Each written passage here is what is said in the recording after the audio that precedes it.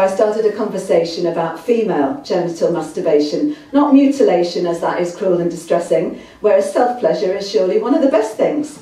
Let's stay on titillation, titivation, and I will start a, with a monologue on my sexual awakening, experiential if no longer confidential. Yes, women wank too. Thank you for being interested. My guess is you've not discussed it before. I know some people think it's disgusting, yet I do enjoy some taboo busting. When I was younger, I tried a banana, then a cucumber. Of course, they went soft down under. And whilst these weren't the right kind of plants to plant in my jade garden, I beg my own pardon. As a pre-teenager, I couldn't access a vibrator. I'm 50, you just couldn't buy them then on the internet.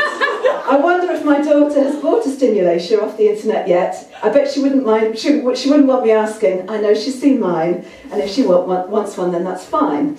Boys have their hands, and they might not understand that an early teenage girl gives other tools a whirl against her clitoral curl, or to reach into her cave and she thinks she misbehaves. She can feel ashamed of playing perverted games, yet aren't we all the same, same at heart, same within?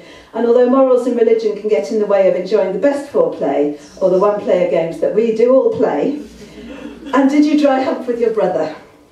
because that's another game that's not allowed, frowned upon, yet we were just playful, pre-teens located for what seemed like ages, abroad and bored without other playmates. My dad lived in Thailand and we were we just we just didn't have anybody to play with for six weeks.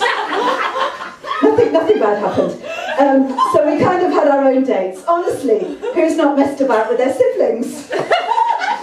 so we were just trying out some adult, things. We were like 10. Now I have a powerful vibrator, a clitoral stimulator that pulses and is programmable. And whilst too big to be rammable, it's sensual, rechargeable, really cool. Branded emotional bliss, it brings me off so quick, I recommend it highly. It's not that shoddy overpriced sex, high street sex toy tact. How do they get away with that faulty dildo crap? With my clit and sacred G-spot inside and out, I've got at least three love buttons, too many for just my own hands.